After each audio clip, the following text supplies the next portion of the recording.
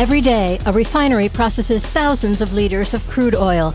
Here, safety is the top priority, and this demands the requisite infrastructure. One of the most important safety features is the flaring system. One of these massive flares is now about to be serviced. Hier wird inspiziert, ob Korrosionen vorhanden sind, ob die Beschichtung im Behälter noch in Ordnung ist und ob das ganze System einwandfrei funktioniert, wenn es wieder in Betrieb ist. The flares may only have a job to do on rare occasions, but when they are needed, the role they play is even more critical. The processes of a refinery produce surplus gas, and the goal is to use this gas sensibly. This is why the gas is fed into the plant's furnaces and into power plants to produce power or steam.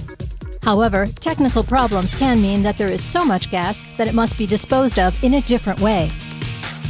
This is when one of multiple ground level flares is activated. They are massive steel cylinders, the height of a 10 story building. Inside, the gases are combusted in a way that is invisible, silent, and environmentally sound, thereby producing steam and carbon dioxide. But there are rare cases when the ground level flares cannot handle the input.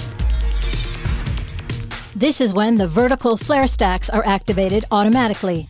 As these flare stacks burn off the gas at high temperatures and heights exceeding 60 meters, in essence, the gas disappears without a trace. But actually, the gas from the production process is far too valuable to be disposed of through flaring.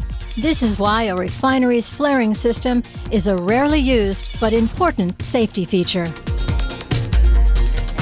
During the servicing, the team only had to make a few small improvements. Now, the flare can be put back in place with a 500 ton crane so that it is once again ready for use, completely reliable, whatever the hour.